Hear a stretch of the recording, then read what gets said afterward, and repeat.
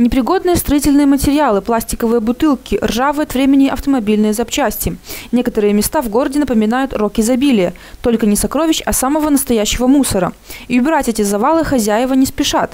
Та же история с травой и сорной растительностью за заборами домов, косить которую участники не собираются. О числе несостоявшихся блюстителей порядка говорят цифры статистики. За истекший период 2013 года специалистами центра проверено около 5000 территорий города Бреста и района, объектов, э, субъектов хозяйствования. На более половины из них выявлены нарушения санитарного содержания территорий. Выдано 560 предписаний об устранении нарушений, 1600 рекомендаций об устранении нарушений составлено 510 протоколов на общую сумму более 410 миллионов рублей. Территории гаражных кооперативов, садоводческих товариществ, а также строительных площадок. Чаще всего именно они являются клондайком несанкционированных свалок.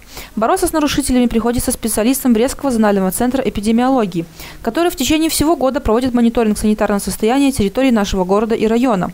Каждую неделю они работают в составе мобильных групп при Брестском горисполкоме и рабочих группах при ЖЭСе, напоминая местным жителям о необходимости наведения чистоты и порядка на своих территориях.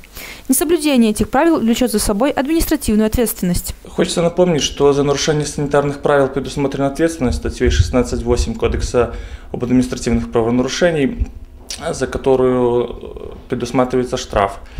Также предусмотрена ответственность частью 2 статьи 21.14 э, правил содержания территорий, утвержденных Советом Министров. Свалки мусора в отдельных районах нашего города – это скорее исключение из правил.